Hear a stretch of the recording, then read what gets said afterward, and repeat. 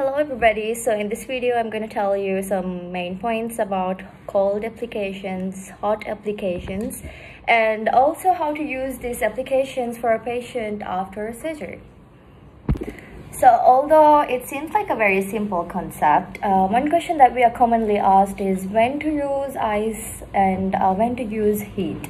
And one main point to remember is that ice always reduces inflammation while heat stimulates blood flow.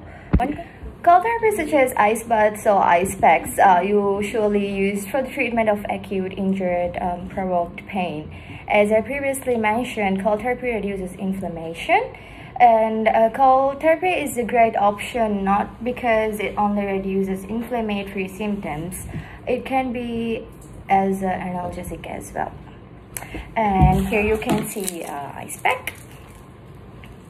So in this role play i'll be using this ice pack so unlike cold therapy, heat therapy stimulates blood flow and this is helpful in the treatment of pain due to chronic overuse type injuries or disease processes. And applying heat to these areas helps to stimulate um, flow of oxygen-rich blood which can decrease the amount of lactic acid in the muscles, thereby decreasing pain and improving range of motion. So let me show you the heating tab, heating pad you can use this as well. And there are plenty of other supplies you can use as well. When to use what? Um, using ice is critical for use after procedures such as total joint replacements to um, joint manipulations under anesthesia fusions tendon. Uh, so now you will see a little role play of a patient who had a total knee replacement. Enjoy May I come in? Yes, please. How are you feeling today? I feel okay. Good. Yeah, Any pain? yeah. Pain in the knee. Okay, it is normal. It is very normal, okay? But now I'm going to put some ice on you. Is it okay?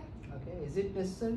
Yes, because after total knee replacement, um, bleeding can occur in the joints and it may cause infections like hematoma. We don't want any risks here, okay? So, like, uh, putting some ice can slow down the bleeding and it can help you to avoid all the risks like hematoma. And um, so, there will be less risk for immobility too, okay? Okay. So, let me help you to put ice.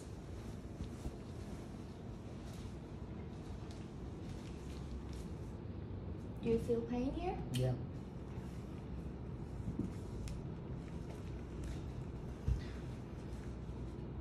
I'll put ice for 20 minutes on and off for the first 48 to 72 hours. Okay?